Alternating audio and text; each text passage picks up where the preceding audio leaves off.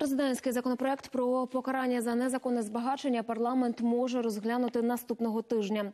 Про це повідомив заступник глави адміністрації президента Руслан Рябошапка. Свій варіант закону Володимир Зеленський зареєстрував у парламенті напередодні. Автори проаналізували рішення конституційного суду про скасування закону щодо незаконного збагачення, спілкувалися з фахівцями МВФ та Світового банку, українськими та іноземними експертами. У новій редакції пропонується запровадити не тільки кримінальну відповідальність для чиновників, а й практику вилучення незаконних активів.